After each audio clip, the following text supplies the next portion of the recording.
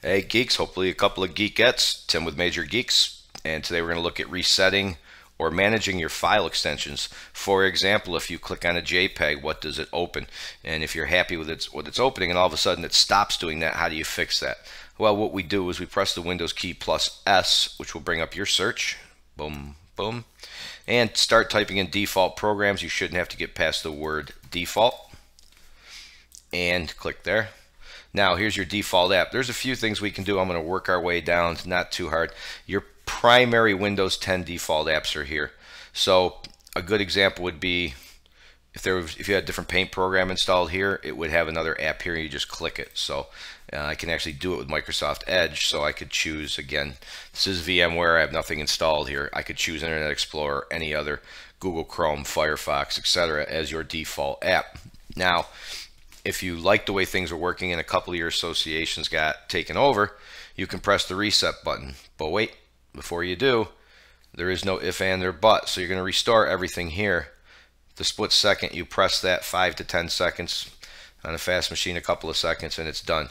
So as you can see, the photo viewer is gone by default, but now I can bring paint back or I could choose whatever I want. So there's a few other options down here for most of what we're dealing with right here, we're going to stick to choose default apps by file type. So just as we discussed, every file type available is listed here on your left and what the association is with it, if there is one. So we can go down to, I don't know if there's a GIF here before I get all the way down to JPEG, kind of do these videos on the fly. So sometimes it doesn't work out. Most of the times it does. There's GIF. So if I open a GIF, it's going to open Internet Explorer, but I can decide I want to open it in Microsoft Paint or, once again, your favorite paint program. That solves a lot of your problems on one-offs. So once again, if you lost association opening your JPEGs, etc., that's all you got to do is find JPEG.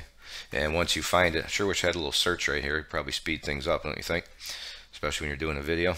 So JPEG is already set to paint. So once again, and then of course the shorter JPEG. So you click over here and any available options are there. It's pretty simple to do, but of course, just like anything else in Windows, if you don't know where it is and you get in trouble, you don't know where to go. There's, you know, thousands of these settings in here. So, so there you go. Now you know, here's your default apps.